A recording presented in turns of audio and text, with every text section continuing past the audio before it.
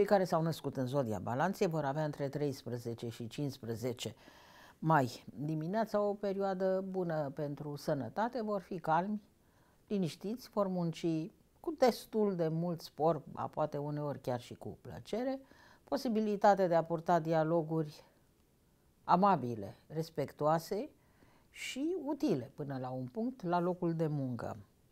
Posibilitate de a repara cu metode blânde, delicate și discrete o disfuncție organică.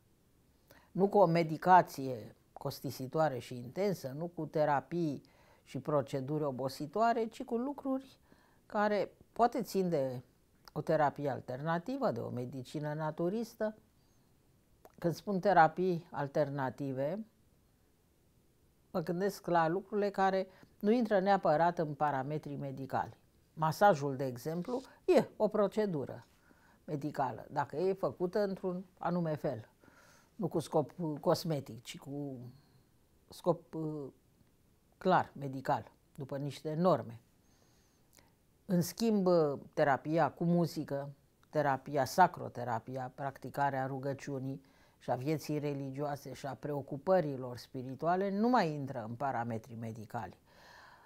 Sunt uh, multe alte preocupări, cum ar fi scrisul. Cei care se descarcă din punct de vedere nervos punând pe hârtie trăirile lor, gândurile lor. La un moment dat se poate descoperi și un talent. Alții pictează. Și nu e vorba de hobby, că nu o fac să se distreze, ci o fac să completeze ceva sau să alunge o disfuncție organică. Aceste terapii alternative vin și aduc o bogăție de trăiri, senzații, impresii, au ecou în organism și acest ecou este util fiziologiei câte unui organ în parte și în ansamblu întregului organism, ba chiar și al psihicului. Între 15 mai după ora 11 și 17 mai după amiaza, răstimp mai agitat, mai puțin armonic pentru relațiile parteneriale, o jenă trăită în relația cu un partener. Acela are inițiative cu care nativul nu este de acord, schimburile de impresii nu sunt chiar prietenoase și, în general, nu prea conlucrează. Se evită variante și mai conflictoare, se șicanează, se resping, se acuză reciproc, se nasc ostilități, se sabotează proiectul, se poate ajunge până departe. Dar, pentru a se întâmpla toate acestea, trebuie să fie vorba de un conflict care s-a născut cândva în trecut și durează de ceva vreme, s-a consolidat și acum, în aceste zile, nu este vorba decât de o nouă etapă care contribuie așa, câte un pic, câte un pic, la consolidarea acestei neînțelegeri fundamentale. Între 17 mai, după ora 15 și 30 de minute și 19 mai, Casa 8 Bani Bunuri, în legătură cu oameni și instituții, este gazda bună pentru cinci planete în tranzit și pentru sensul vieții. Atât de multe posturi astrale, șase, reprezintă o acumulare de energie în primul rând, există un evantai de manifestări și destul de multe provocări, ba chiar și vreo două, trei direcții importante, esențiale, pentru abordarea unei teme financiare sau patrimoniale. Le este favorabilă nativilor pentru că Mercur revine din 16 mai la mișcare directă și mai puternic, mai elocvent, mai convingător, mai limpede în principii și mai uh, tehnic în abordare. Fără duioșii, fără lamentări, fără argumente sentimentale, strict și la obiect. Tot pe 16 mai, în acest sector va intra și planeta Jupiter doar că ea va staționa un an până la sfârșitul lunii mai 2024 și va fi cât va putea, în funcție și de caracteristicile hărții personale a fiecăruia, un protector și un benefic. Pentru unii va fi mare benefic, pentru alții va fi unul mai modest. Depinde de miză, de conjunctură. Acum nu chiar toată lumea are probleme, de revendicare, de primire, de partaj, de proces, de succesiune. E foarte multă lume angajată, dar nu toată lumea. Prin urmare, unii nu vor fi vizați de acest tranzit, totuși cei care au probleme vor primi de la Jupiter ajutor, dar cu o singură condiție. Ei să joace corect, să nu intre în um, mecanisme vicioase, pentru că el nu e un avocat, el este un judecător. Dacă cineva greșește într-o abordare de felul acesta financiară sau patrimonială și umblă cu lucruri necinstite, incorrecte, ilegale, Jupiter nu e un avocat ca să pledeze și să atenueze vinovăția la proces. El este un judecător și atunci mai și aplică legea, mai și pedepsește. Adică cu Jupiter nu te joci. De Jupiter asculți, ești un executant, el te motivează, te protejează, dar nu te iartă.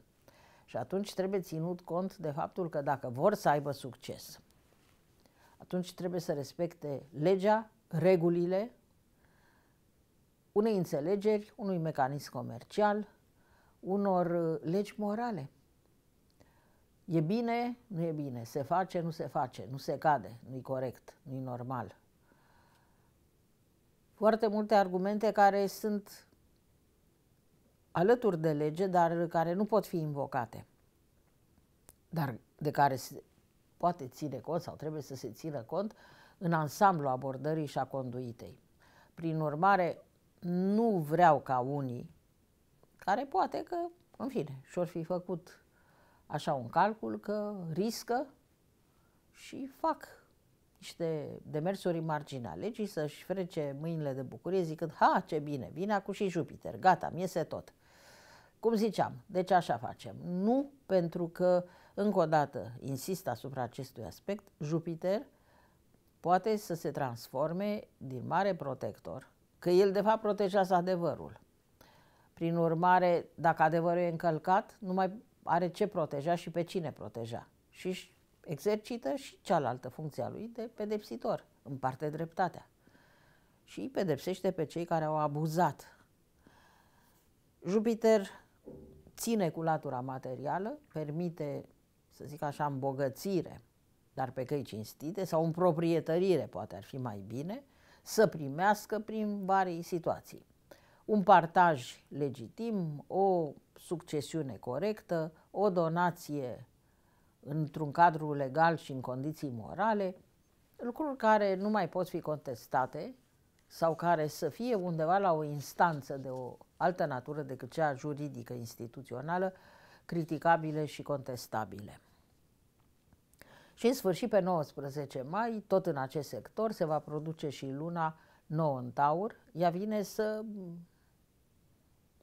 pună așa o tăbliță, un semnal despre ceea ce urmează să se întâmple, dă indicii și menține activă o preocupare legată de bani, bunuri, patrimoniu, accentuează spiritul practic, dorința de recuperare și mai creează încă o premiză, și anume, depinde acum în ce măsură o înțelege fiecare, o conștientizează.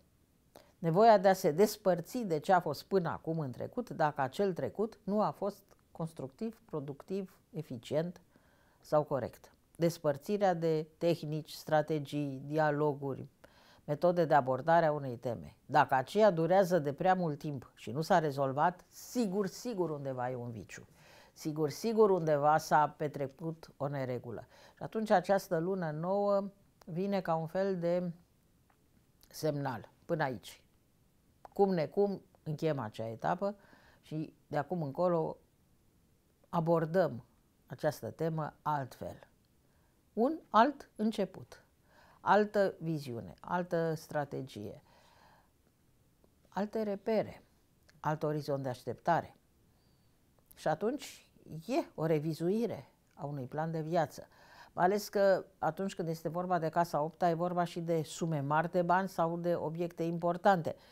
Că nimeni nu se judecă pentru un taburet, dar uh, pentru tablouri, pentru sufragerie, pentru casă, pentru terenuri, se judecă. Așadar, păstrând proporțiile, este clar că cine va avea parte de întregul sau de cota care îi revine dintr-o avere, dintr-o masă succesorală, va avea un beneficiu. De asta spuneam că este o împroprietărire. Ea e posibil să evolueze cu tot felul de, mă rog, oscilații și meandre până în primăvara viitoare. De aceea e bine să se facă toate demersurile, pentru ca în mai 2024 lucrurile să se fi încheiat. Dacă ați ajuns în mai 2024 și încă vă certați și încă mai aveți șapte termene, atunci este clar că strategia n-a fost bine pusă în practică sau că un ansamblu întreg de condiții sunt foarte puternice, chiar dacă nu sunt corecte, și se manifestă împotriva dorinței nativului cu o forță pe care Jupiter nu a fost în stare să o disloce. Și atunci e de căutat în trecut de la ce s-a plecat, pe ce bază s-a construit acest viciu de înțelegere și de procedură.